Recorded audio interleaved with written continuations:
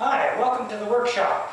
Today I'm working on a TeeNee Eskimotor Husky.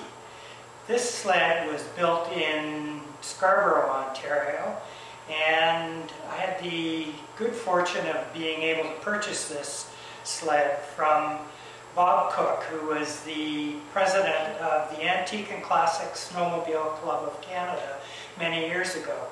And since then, I have taken this sled on several rides, both in Ontario and in Michigan.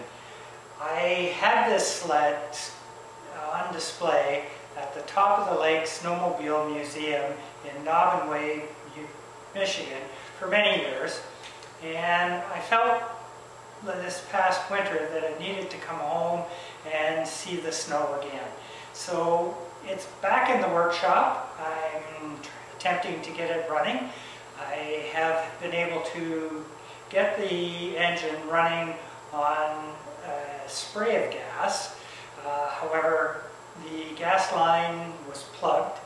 The petcock uh, had some material in it and was no longer operable. So what I've done is installed a uh, sediment bowl filter and petcock on the tank. This is something that should have been done originally anyways, but now I'm going to try and get the engine running. This sled is equipped with a 6 horsepower Lauson four-stroke engine. So what I'm going to do now is see if I can't get it to fire up for you on camera. The engine is not equipped with a recoil. In fact, this was at the time of transition between uh, engines that had rope starts and recoils. Unfortunately, this one doesn't have a recoil, nor does it have electric start. I'm in the process of putting the sled on jack stands so that I can run the track and allow me to lubricate both the drive chain and the track itself. This sled is equipped with an articulating base which allows it to go over bumps in the snow. It has a pin that runs through the sled itself and this pin can be removed and the two parts of the sled can be separated. Some of the interesting things about the Eskimotor is that it did have independent front suspension on it. Uh, if you have a look, these uh, four inch springs on the skis and on the articulation are all the suspension that this sled had.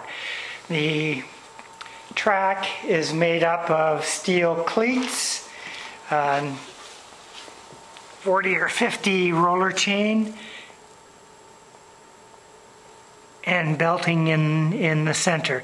As you can see that the uh, chain is in need of some lubrication.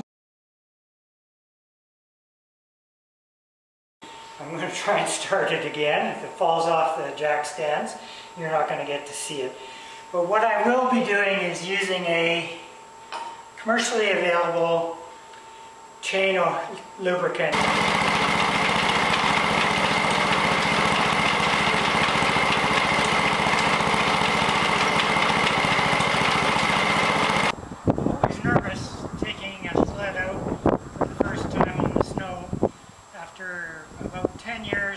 storage, so